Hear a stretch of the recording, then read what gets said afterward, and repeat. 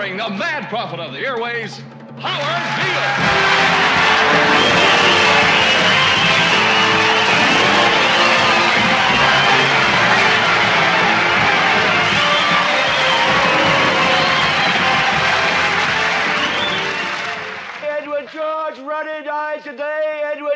Ruddy was the chairman of the board of the Union Broadcasting Systems, and he died at 11 o'clock this morning of a heart condition, and woe is us. We're in a lot of trouble.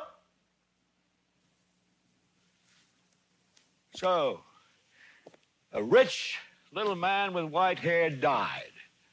What has that got to do with the price of rice, right? And why is that woe to us? Because you people and 62 million other Americans are listening to me right now. Because less than 3% of you people read books. Because less than 15% of you read newspapers. Because the only truth you know is what you get over this tube. Right now, there is a whole, an entire generation that never knew anything that didn't come out of this tube. This tube is the gospel, the ultimate revelation.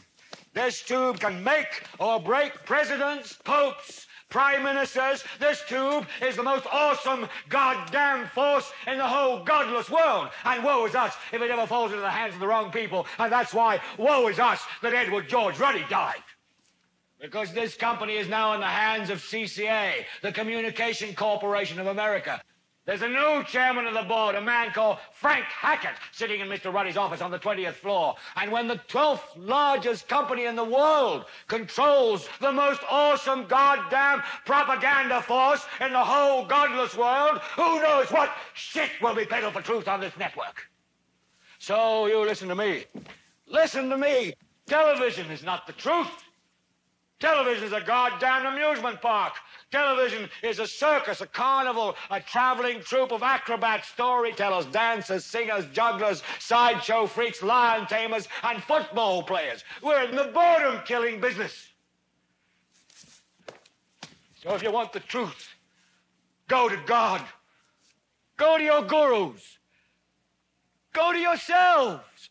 Because that's the only place you're ever going to find any real truth. But man, you're never going to get any truth from us. We'll tell you anything you want to hear. We lie like hell. We'll tell you that uh, Kojak always gets the killer and that nobody ever gets cancer in Archie Bunker's house. And no matter how much trouble the hero is in, don't worry. Just look at your watch. At the end of the hour, he's going to win. We'll tell you any shit you want to hear.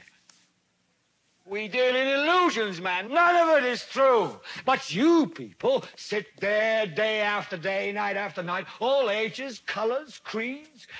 We're all you know. You're beginning to believe the illusions we're spinning here. You're beginning to think that the tube is reality and that your own lives are unreal. You do whatever the tube tells you. You dress like the tube. You eat like the tube. You raise your children like the tube. You even think like the tube. This is mass madness, you maniacs. In God's name, you people are the real thing. We are the illusion. So turn off your television sets. Turn them off now. Turn them off right now. Turn them off and leave them off. Turn them off right in the middle of the sentence I'm speaking to you now. Turn them off